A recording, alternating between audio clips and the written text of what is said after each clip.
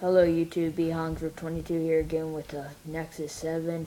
Today I'm going to be showing you guys how to troubleshoot it if it's not turning on and you've been charging it for a couple of hours. All you gotta do is disconnect it and hold the power button for like 15 seconds.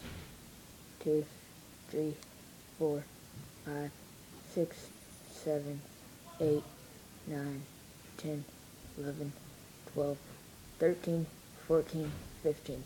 And if that doesn't work, then see it what came on for me. And if that doesn't work for you, then try holding it for 15 seconds and then do the power up, uh, the volume up button for another 15 seconds and then do that. But if none of that works, call Asus. Their number is on your box that you got from when you bought your Nexus 7. It'll be the third number on the right. You're going to be calling like Vietnam or something. They're very good and they will answer within like two minutes, so it's good. So thank you for watching this video on how to troubleshoot your Nexus 7.